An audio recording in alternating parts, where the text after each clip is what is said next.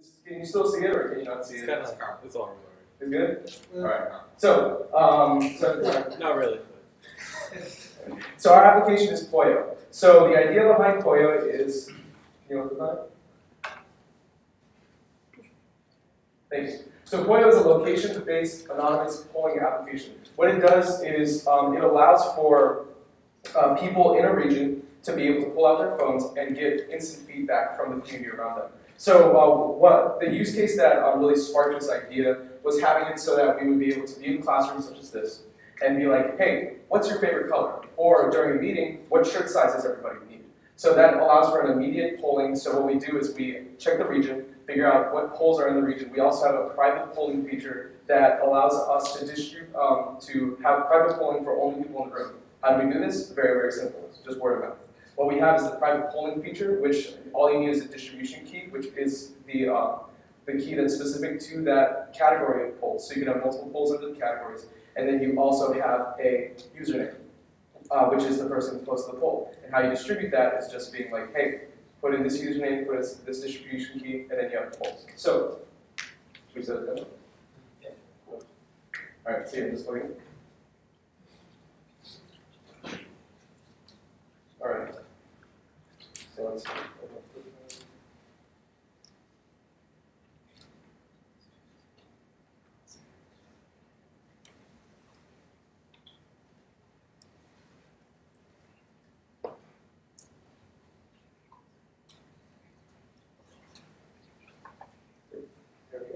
So with Poyo, uh, what we wanted to do is we wanted to make an interface that wasn't easy, like you wouldn't quickly be going through, but rather that you would be able to take your time going through and be selective of which polls that you're doing.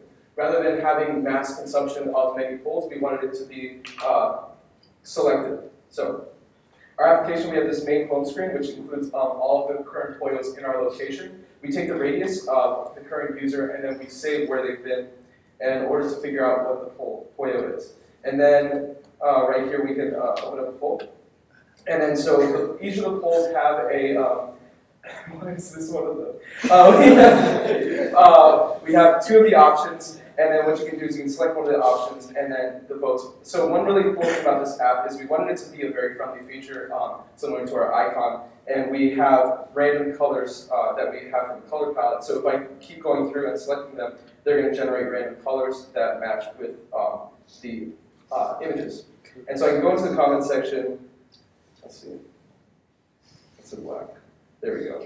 And so I can go into the comment section and I can actually see where all of the um, answers have been recently. So this one just has the one current location right here because, uh, well, I just uh, answered the question there. But after many people have answered, it'll show a map of all the people who have answered. And also for the comment section, we uh, derived from uh, YikYak style having anonymous characters in order to identify because we are a pseudo-anonymous application. So I'm going to say, wow, this app is awesome.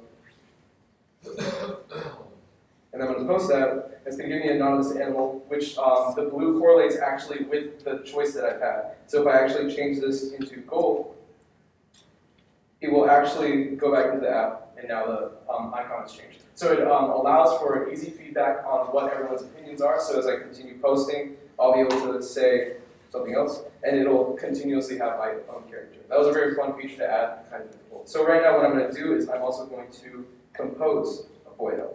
So what do you want me to ask? Anyone? Domino's or Papa John's? Perfect. All right, so, oops. So um, this feature, we also added something so that auto uh, fills in the question, so you don't have to fill in every time. So Domino's or Papa John's. So I'm going to take a picture of the dominoes over there and send that. And then I'm going to take a picture, should do something, of Kevin for Papa John's. And then from there, I can also um, go into my settings, and I can also make it a private poll, by setting my distribution key slash password here. Or I can uh, set my end time, so this is when the poll will die. We'd actually have the poll ending after 21 hours, because that is the incubation period of a big chick. So I'm going to set it for Sunday, and I'm going to go back, and I'm going to post the poll. Post the poll. And then And there we go, Domino's or Papa John's. Also, the sorting that we have on this application is actually based on Reddit's hotness algorithm. So we take the um, amount of people that voted, we basically take upvotes and downvotes for each of the um, polls, and then we sort them accordingly based on time as well as their hotness. So that is the basic application of uh, Poyo. Um, what we wanted with Poyo is, oh, all right, and it looks like our time is up. So we're going to go on to the Q and A with the judges.